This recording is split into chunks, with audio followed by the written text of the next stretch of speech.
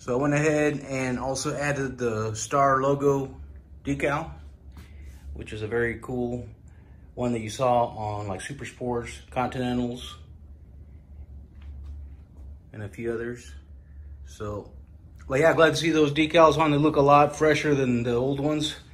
The old ones were actually, I think, a screen. They're not a decal. They're screened on there because when I was taking that off, it didn't peel off. It actually just went away.